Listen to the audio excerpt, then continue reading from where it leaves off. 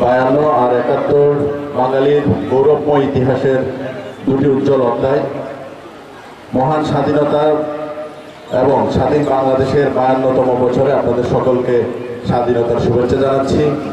আমি বক্তব্যের শুরুতেই গভীর শ্রদ্ধা করে স্মরণ করছি হাজার বছরের সর্বশ্রেষ্ঠ বাঙালি, মুক্তির মহানায়ক, স্বাধীন বাংলাদেশের স্থপতি জাতির পিতা বঙ্গবন্ধু শেখ মুজিবুর রহমান এবং তার নেতৃত্বে মহান মুক্তিযুদ্ধে অংশগ্রহণকারী সকল শহীদ বীর মুক্তিযোদ্ধাদের রায়পুরে প্রশাসনের আয়োজনে যথাযোগ্য মর্যাদায় মহান স্বাধীনতা ও জাতীয় দিবস উদযাপিত।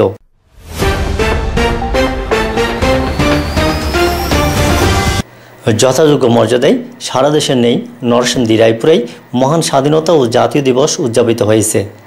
আজ দিবসটি উপলক্ষে উপজেলা প্রশাসনের আয়োজনে সকালে উপজেলা চত্বরের বঙ্গবন্ধুর প্রতিকৃতিতে পুষ্পস্তবক অর্পণের পরে রায়পুরা সরকারি কলেজ মাঠে এক কুচকাওয়াজ ও ডিসপ্লে অনুষ্ঠিত হয়েছে।